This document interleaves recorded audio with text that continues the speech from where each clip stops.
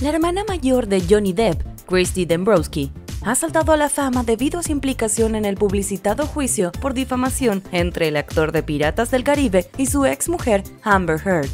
Dembrowski y Depp pasaron gran parte de su infancia mudándose entre Kentucky y Florida, junto con sus otros hermanos, Daniel y Debbie. Los niños Depp crecieron en un hogar violento por culpa de su madre, Betty Sue Palmer, que a menudo se peleaba con su padre, John Depp, según el testimonio de Dembrowski en el juicio por difamación de Johnny en el 2022. Mientras estaba en el estrado, Dembrowski explicó lo que ella y sus hermanos presenciaron mientras crecían, diciendo, Corríamos y nos escondíamos, nos pegaba, nos lanzaba cosas, en una entrevista del 2013 con Rolling Stone, el actor también dio a conocer lo que vivió en su casa cuando era niño, revelando. Fue una educación realmente violenta. Si hacías algo mal, te pegaban. Si no lo hacías, te pegaban. Pero mis padres hicieron lo mejor que pudieron con lo que sabían. Dembrowski se mudó de su casa cuando tenía 17 años y rápidamente formó una familia, informó Insider. A pesar de su difícil crianza, reveló en el tribunal que su madre era menos agresiva a medida que crecía, y Dembrowski, junto a Johnny, ayudó a cuidar de Palmer hasta su muerte en mayo del 2016.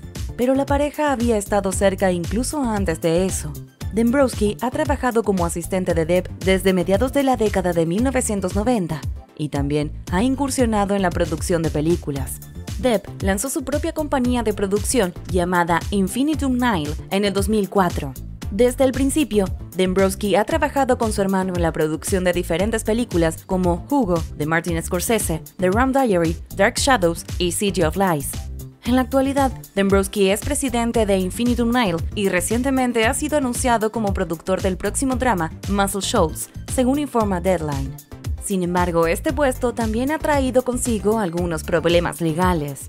Durante la mayor parte de su carrera, las finanzas de Depp fueron manejadas por The Manager Group y en el 2017 demandó a la compañía y a su ex gerente de negocios, Joel Mandel, por 25 millones de dólares por el mal manejo de su dinero. En la demanda, el actor alegó que la empresa de gestión le costó 8 millones de dólares extra en multas y tasas fiscales y que le prestó 10 millones de dólares de su dinero sin permiso, entre otros cargos adicionales. En una contrademanda de TMG, la compañía acusó a sus amigos cercanos y asociados, incluyendo a Dembrowski, de no ser responsables con el dinero del actor.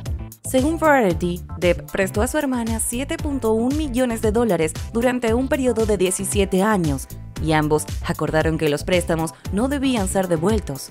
Eso, junto con otros préstamos a familiares y amigos por un total de aproximadamente 1.9 millones de dólares, fueron la razón de los problemas financieros de Depp, según afirmó TMG en la contrademanda.